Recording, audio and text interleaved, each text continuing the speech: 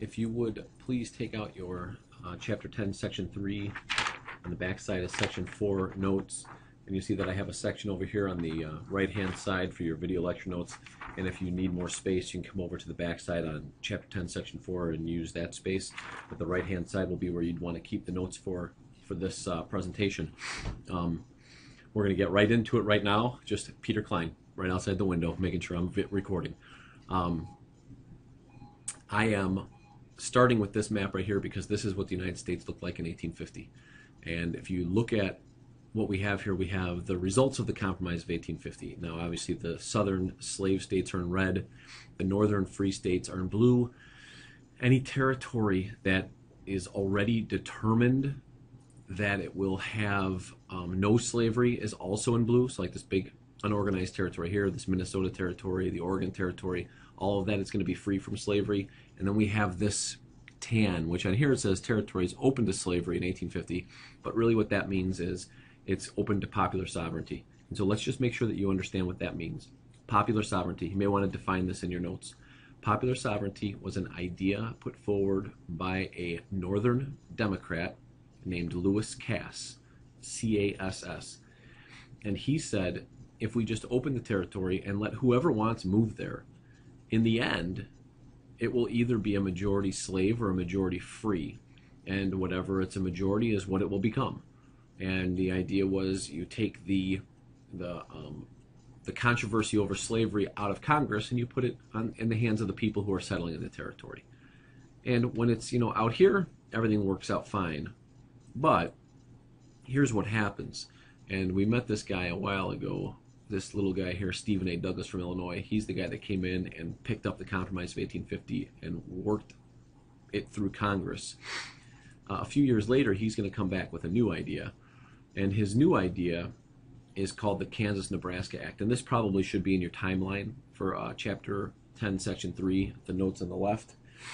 Um, in 1854, he presents a, a bill to Congress called the Kansas Nebraska Act, in which he says this territory, right, Kansas and Nebraska, the old Louisiana Purchase territory, which you should note is north of 3630. He says in 1850 it's unorganized. Now he suggests that they organize it into these two territories, Kansas and Nebraska, and that they open it to popular sovereignty since that seems to be working out here in New Mexico and Utah.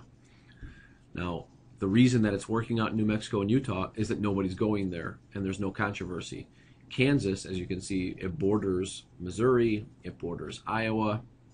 You know, this is someplace that people might actually move to. And that's what Douglas wanted. You see, his ultimate goal was to get a transcontinental railroad built. And he thought the only way that this is going to work is if there are stations and stops in here. And in order for that to happen, we need people in here. And so he needed to encourage people to settle this old, unorganized territory and and I'll be putting if it's not already underneath or above me or wherever I put it, um, highlighting kind of what I'm talking about here. But that's probably what you should have in your notes in the little boxes that I'll add.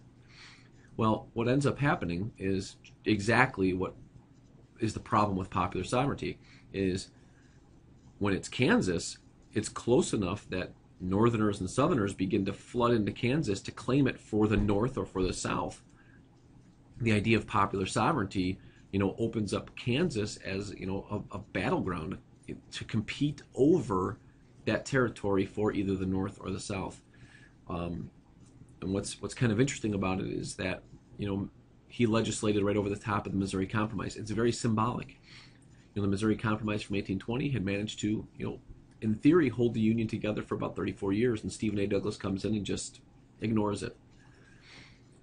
In Kansas, a a virtual civil war erupts. It's called Bleeding Kansas. And it goes from 1854 really through the Civil War in Kansas, where you have people from the north coming there to settle, people from the south with slaves coming there to settle, and they're trying to claim Kansas for either the north or the south. And this is an image right here of John Brown. And John Brown is a staunch abolitionist who is sponsored by New England abolitionists to go to Kansas specifically for the purpose of defending it as a northern claim. Uh, he brings his sons out there. You know, they they uh, they massacre some pro-southern Kansas settlers. Uh, it, it, gets ugly in Kansas. The, the Civil War is essentially starting right there in Kansas. And if we look at, you know, what's happening in Kansas, uh, Potawatomi Creek. This is where John Brown led his sons, and they massacred, I think, like eight people. I'd have to look it up, but something like that. But you can see there's, you know, these these battles led by John Brown, led by Free State forces, led by Slave State forces, all right around the border. But this is, you know, this is Kansas, and in after the aftermath of Kansas also breaks out in violence on the congressional floor. I know I mentioned this in my video last week, but it's worth mentioning again.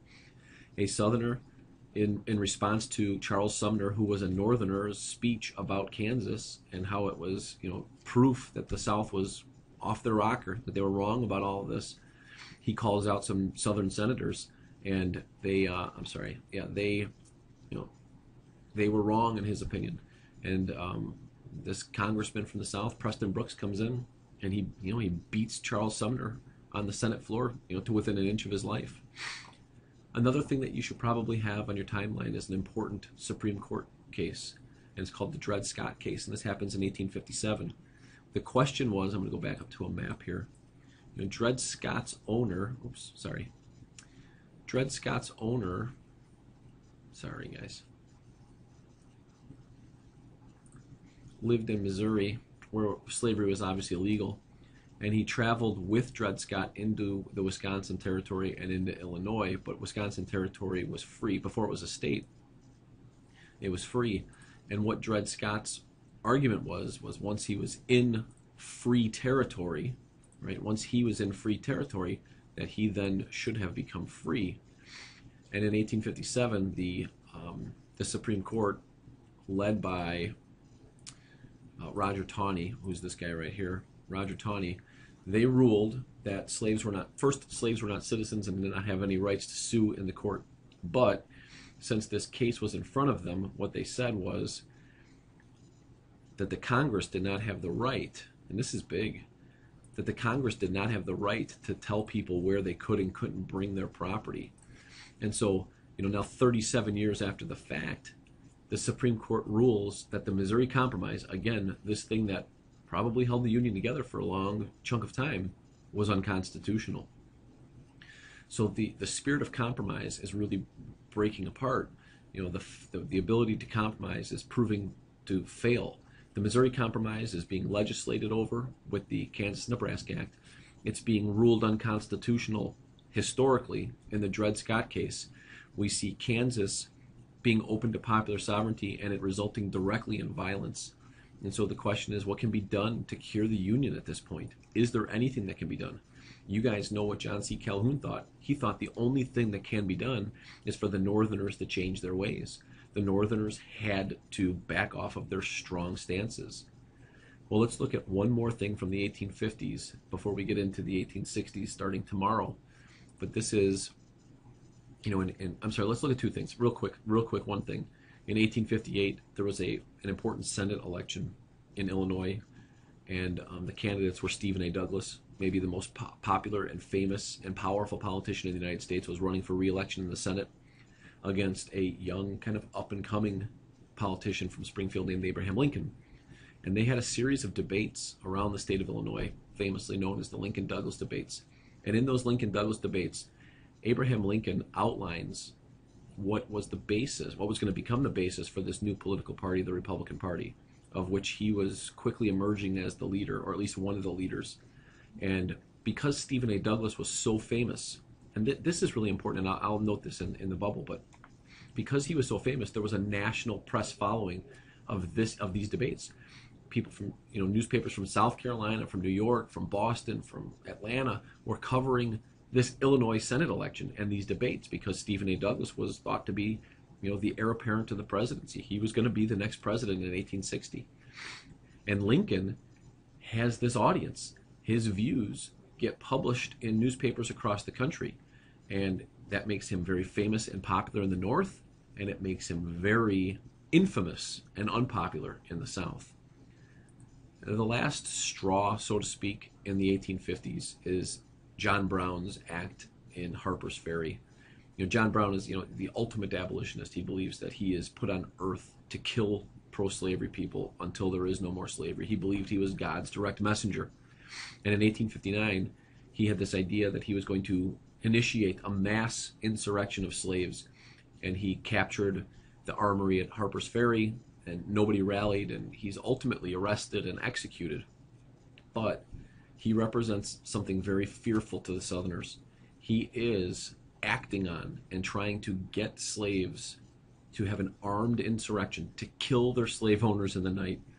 And if you look at what's happening in the 1850s, this last act is going to put the paranoia of the, of the South over the top. And when I say the paranoia of the South, what I mean is they are paranoid that the Northerners are against them, that the Northerners are trying to manipulate the country so that they have all the power, that the Northerners are being acting aggressively towards their slaves and towards slavery in general.